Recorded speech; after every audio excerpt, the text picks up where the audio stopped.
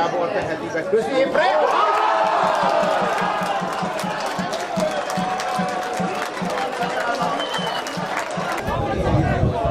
Nagy bedobás a kisvállalajához.